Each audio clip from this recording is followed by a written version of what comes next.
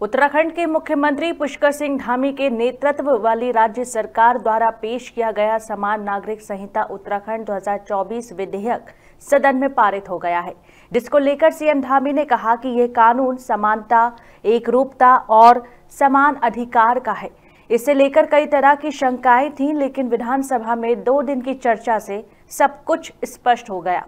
CM Dhami ने कहा कि ये उन महिलाओं के लिए है जिनको सामाजिक मानदंडों के कारण कठिनाई का सामना करना पड़ता है। इस बिल से उनका आत्मविश्वास मज़बूत होगा। इसी क्रम में उन्होंने कहा कि ये कानून किसी के खिलाफ नहीं है। ये कानून महिलाओं के समग्र विकास के लिए है। बिल पारित हो गया है। इसी कड़ी में सीएम पुष्कर सिंह धामी ने कहा कि कमेटी का धन्यवाद करना चाहता हूँ। करीब दस हज़ार लोगों से प्रत्यक्ष रूप से बात की गई। वहीं ड्राफ्ट का आकलन किया गया, फिर उसे पेश किया गया।